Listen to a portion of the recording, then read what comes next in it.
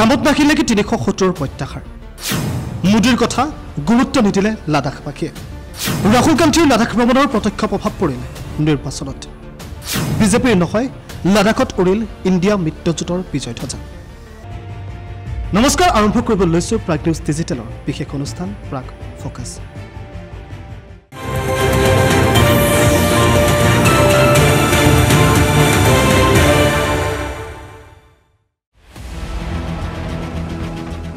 জম্মু কাশ্মীৰৰ পৰা বাতিল কৰা হ'ল অনুচ্ছেদ তিনিশ সত্তৰ। চৰকাৰৰ এই সিদ্ধান্ত সৰ্বত্ৰে চৰ্চা চলে। হৈ পৰিল বিজেপিৰ বাবে নিৰ্বাচনৰ আহিলা কিন্তু শেহতীয়াকৈ বাৰুকৈ মুখ ঠেকেচা খালে শাসকে বিজেপিয়ে। লাডাখ স্বায়ত্তশাসিত পাৰ্বত্য পৰিষদৰ নিৰ্বাচনত কেৱল দুখন আসনতেই সীমাবদ্ধ থাকিল শাসকীয় বিজেপি। জম্মু কাশ্মীৰ আৰু লাডাখক দুটা পৃথক কেন্দ্ৰীয় শাসিত অঞ্চল হিচাপে বিভক্ত কৰাৰ পাছত প্ৰথম স্থানীয় স্বায়ত্ত পাৰ্বত্য পৰিষদৰ নিৰ্বাচনত বিজেপিৰ বাবে আহিল বিপৰ্যয়। প্ৰথম নিৰ্বাচনত কেৱল মাত্ৰ দুখন আসনতেই সীমাবদ্ধ হৈ ৰ'ল বিজেপি। তাৰ বিপৰীতে ইণ্ডিয়া মিত্ৰজোঁটে লাভ কৰিলে বৃহৎ জয় কংগ্ৰেছ আৰু নেশ্যনেল কনফাৰেন্সৰ মিত্ৰজোঁটে কাৰ্গিল লাডাখ স্বায়ত্তশাসিত পৰিষদৰ নিৰ্বাচনত ছাব্বিছখন আসনৰ ভিতৰত লাভ কৰিলে বাইছখনকৈ আসন। সন্নিকট লোকসভা নিৰ্বাচন। লাডাখত বিজেপিৰ এই পৰাজয় লোকসভা নিৰ্বাচনৰ পূৰ্বে তাৎপৰ্যপূৰ্ণৰূপে বিবেচিত হৈছে। চৰ্চা চলিছে এতিয়া দেশজুৰি। লাডাখ শাসক বিজেপিৰ নেতা মন্ত্ৰী কিংবা দেশৰ প্ৰধানমন্ত্ৰী কৰাৰ কথাবোৰ গুৰুত্ব নিদিলে লাডাখবাসীয়ে। তাৰ বিপৰীতে ৰাহুল গান্ধীৰ ভাৰত জোৰো যাত্ৰা আৰু লাডাখ ভ্ৰমণে বিশেষ মাত্ৰা দিলে কংগ্ৰেছক।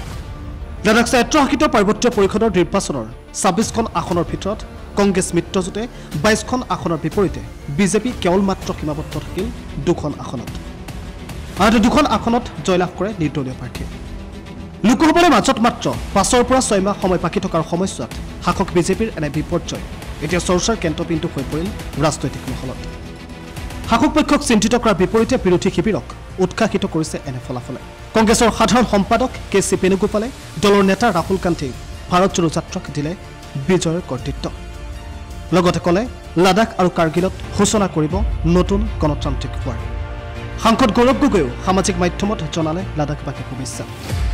ইতিমধ্যে তৃতীয়বাৰৰ বাবে দেশৰ প্ৰধানমন্ত্ৰী হোৱাৰ সপোন দেখা মোদীৰ বাবে আহিছে ইটোৰ পাছত সিটো বৃহৎ প্ৰত্যাহ্বান।